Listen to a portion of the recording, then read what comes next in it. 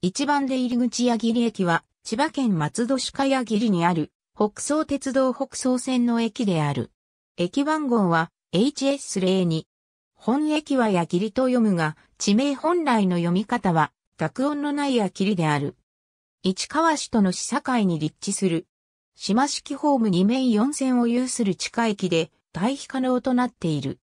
印馬日本医大駅側に、片渡り線があり、ダイヤ乱れ等の異常時には当駅での折り返し運転が行われる場合がある。かつては西白井当駅間の区間列車が数本設定されていた。2010年7月17日のダイヤ改正以降は、当駅始発、終着の普通列車1往復が北総線の始発、最終電車として設定されている。地下1階が改札コンコース、地下2階がホームとなる。駅構内にエスカレーターとエレベーターは設置されているが、車椅子などに対応する多機能トイレは設置されていない。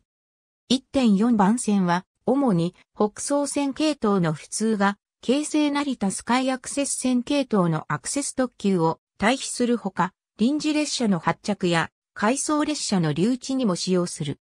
なお、東駅始発の5時22分発のインバニ本位対向は1番線から発車する。2019年度の1日平均乗降人員は7903人。北総線15駅中、第9位であり、急行の止まらない北国部駅より、わずかに少ない。近年の1日平均乗車、乗降人員の推移は、下記の通りである。当駅は、矢切地区の南東部に位置する。矢切の私の松戸市側渡芝とは、約 1.5km の距離があり、当駅からのアクセスには不向きである。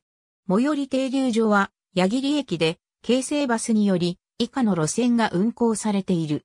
当駅は、映画やテレビ CM などのロケーション撮影スポットとして使われることが多い。成田スカイアクセス線との共用区間ではあるが、当駅には、京成電鉄が運行する列車は停車しない。ありがとうございます。